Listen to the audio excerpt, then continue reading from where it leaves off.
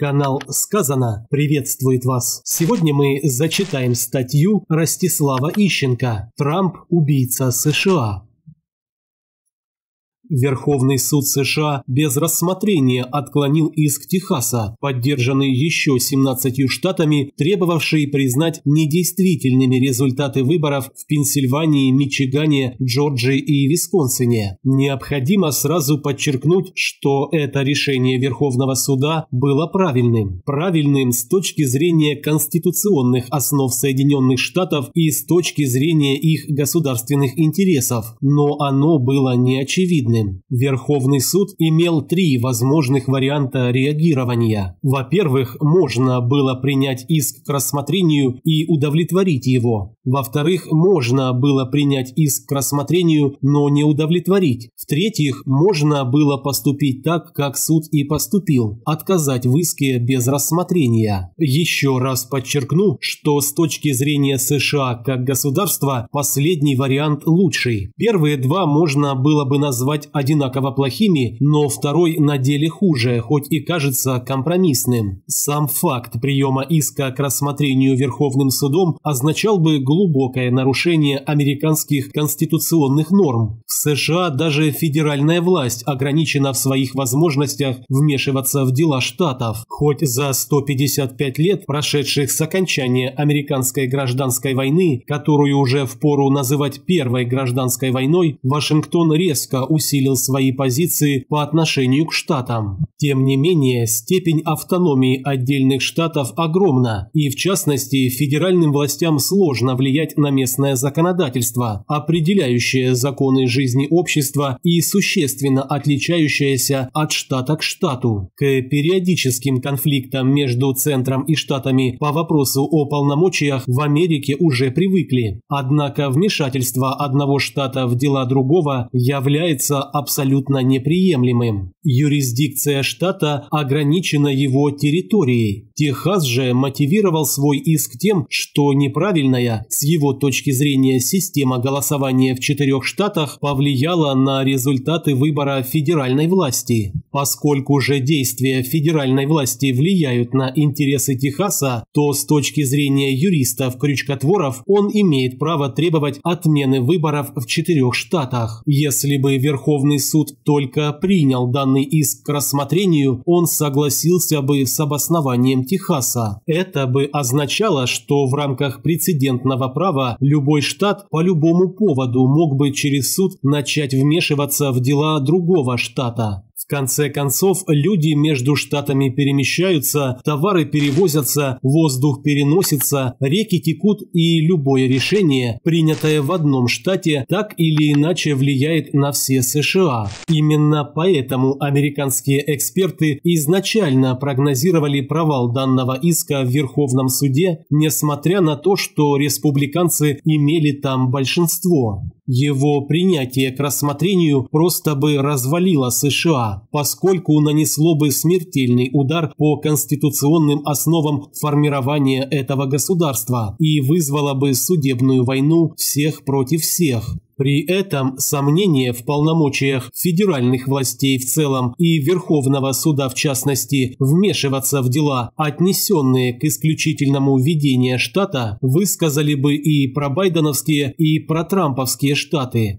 Но стала ли ситуация лучше после того, как Верховный суд отклонил иск без рассмотрения? Не похоже. Судя по всему, команда Трампа была готова именно к такой реакции Верховного суда конце концов, трудно поверить, что перед подачей иска трамповские юристы не провели неформальные консультации с судьями. Тем не менее, несмотря на очевидную бесперспективность иска, его поддержали в общей сложности 18 генеральных прокуроров штатов, включая подавшего иск генерального прокурора штата Техас, 126 республиканцев, членов Палаты представителей Конгресса США, а также сам Трамп, как как частное лицо. Более того, сразу после отклонения иска глава республиканцев Техаса Аллен Уэст призвал создать отдельное государство – Союз Штатов, который будет соблюдать Конституцию. Кстати, раскол Штатов на Союз и Конфедерацию, приведший к гражданской войне 1861-1865 годов, начался с обвинений Федерального центра в несоблюдении Конституции и нарушении прав Штатов.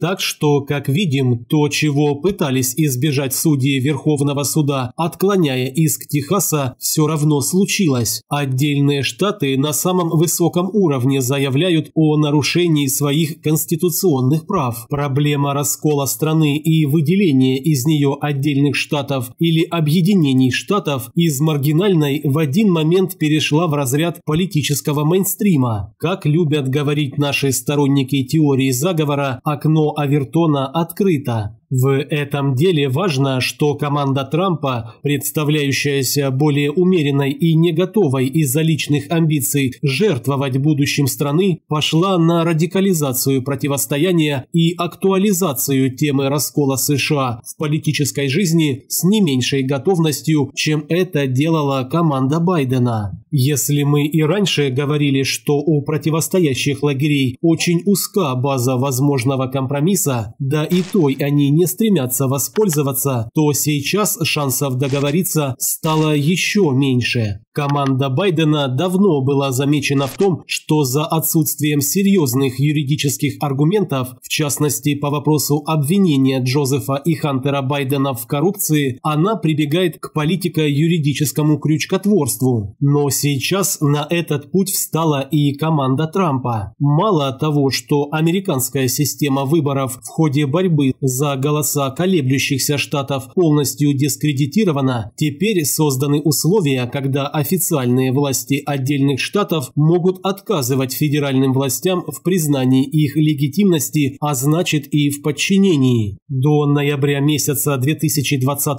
года именно демократы вели свою борьбу за первенство в США под лозунгом «Если не мне, то не доставайся же ты никому». Теперь республиканцы к ним присоединились. Обе стороны не видят иного варианта, кроме своей победы. Более того, если демократы в своих антиконституционных действиях опирались на уличный маргиналитет, то команда Трампа сразу же продемонстрировала наличие поддержки значительной части политического истеблишмента. Загнать по норам уличное быдло для регулярного государства не проблема. Достаточно развязать руки полиции и войскам. А вот 126 конгрессменов и 18 генпрокуроров штатов – это серьезно.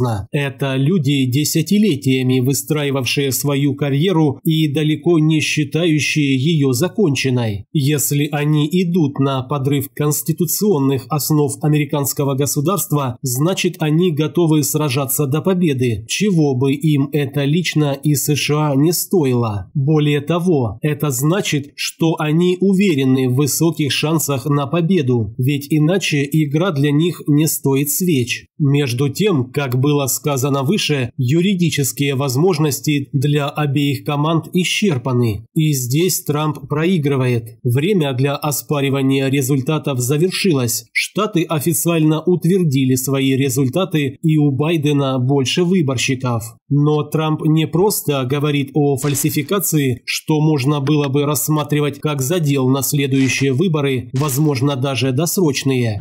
Трамп заявляет о продолжении борьбы в условиях, когда дальнейшая борьба может вестись только силой, не обязательно силой оружия, пока не обязательно. Еще есть возможность опереться на административный ресурс республиканских штатов и попытаться заставить демократов пойти пойти на уступки, но легко предположить, что вместо уступок демократы противопоставят административному ресурсу республиканских штатов административный ресурс демократических. Дальнейшая же радикализация предполагает уже не холодную гражданскую войну, которая давно идет в США, а горячую, просто потому что иные аргументы будут исчерпаны. При этом есть существенное отличие от ситуации 1800 1861 года, когда начиналась Первая гражданская война в США. Тогда раздел севера и юга на несовместимые экономические комплексы был очень четким, и население различных штатов отстаивало интересы своего штата, а не Трампа или Байдена. Север и юг могли прожить друг без друга каждый, просто более сильный север не желал отказываться от эксплуатации юга. Сейчас же деление штатов на трамповские и байденовские весьма условно. В большинстве штатов победивший кандидат имел минимальный перевес, то есть голоса раскладываются равномерно по всей территории страны, за несколькими несущественными исключениями. В этих условиях война должна стать всеобщей, а сформировать устойчивое самодостаточное территориальное образование, способное прожить без остальной части США, будет трудно как Трампу, так и Байдену. Что ж, если раньше я говорил, что в интересах США компромисс между двумя командами, то сейчас, поскольку о компромиссе речь уже не идет, я скажу, что в интересах США, чтобы одна из команд победила моментально и с разгромным счетом. Только так они еще могут удержать внутреннее единство. Впрочем, на это надежд тоже мало. Значит, надо исходить из того, что ситуация в США будет далее дестабилизироваться. Бывшая подконтрольная США глобальная периферия, включая российское ближнее зарубежье, Украину, Грузию, Прибалтику, останется без хозяина и пойдет в разнос. Мировая экономика и торговля после вируса могут получить еще один серьезнейший удар в лице американского кризиса. Хаос начнет охватывать всю планету.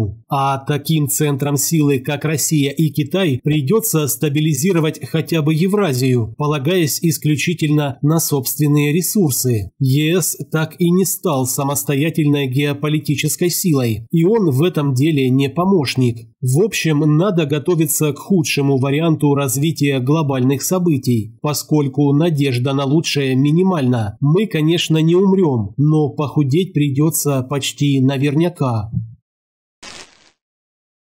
Спасибо за внимание. Поставьте, пожалуйста, лайк этому видео. Оставьте свое мнение в комментариях, поделитесь роликом в социальных сетях и подпишитесь на наш канал.